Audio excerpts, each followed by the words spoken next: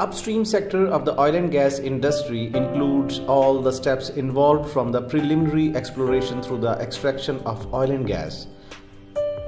An other name for the upstream oil sector which is actually more representative of what occurs in this stage of development of oil and gas sector is exploration and production sector. Exploration and production or upstream segment is the earliest portion of the oil and gas production process. Companies within this segment are primarily focused on locating and extracting commodities from the earth. The exploration stage involves the search for hydrocarbons, which are the primary components of petroleum and natural gas.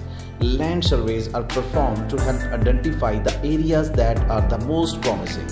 The goal is to locate specific minerals underground in order to estimate the amount of oil and gas reserve. The process can involve seismology, which use substantial vibrations as a result of machinery or explosives.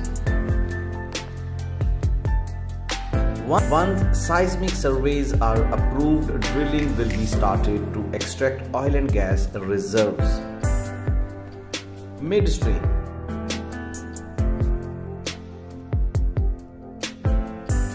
Midstream companies focus on the storage and transportation of oil and natural gas through the pipeline. Midstream companies deliver the reserves to companies involved in the final stage of production called downstream. Downstream.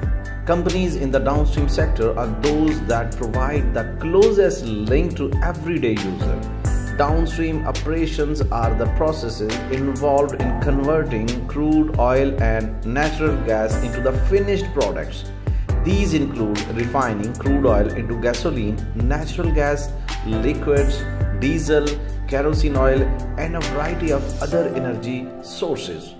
The closer an oil and gas company is to the process of providing consumers with petroleum products. Downstream sector of industry is also involved. Sales and marketing of oil and gas products